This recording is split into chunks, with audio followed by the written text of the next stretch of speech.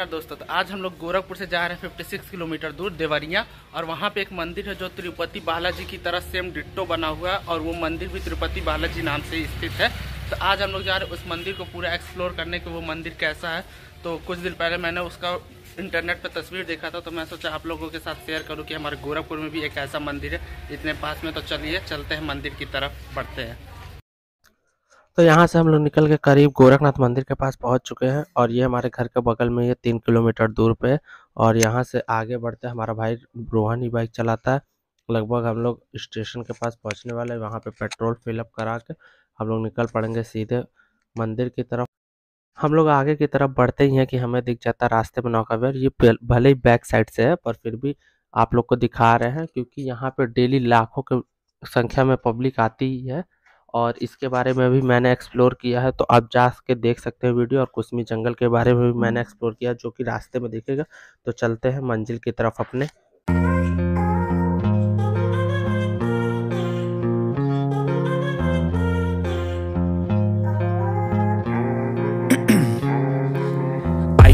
veins, I've been driving this train Years in this lane, there's no stopping this flame Cause I came to the game and I Balaji पहुँच तो गए हैं, वो देखिए पीछे मंदिर, पर मंदिर तो अभी बंद है और वो खुलेगा शाम के चार बजे। मुझे पूरा इन्फॉर्मेशन निकाल लेना चाहिए था। अब सामने एक मंदिर है, मैं उसको एक्सप्लोर करना पर मैं आपको इसको बाहर से मंदिर ये दिखा दे रहा हूँ। चलिए देखिए।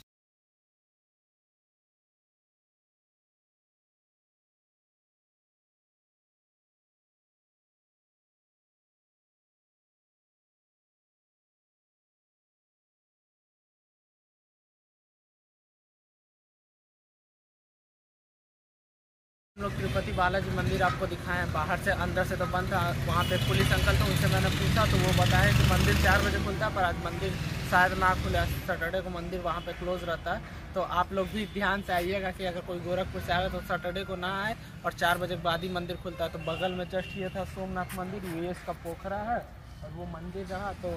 हम सोचे कि क्या करना है, पर नेक्स्ट टाइम आपको ज़रूर तिरुपति बालाजी दिखाएँगे। तो चलते अब घर की तरफ़, क्योंकि जो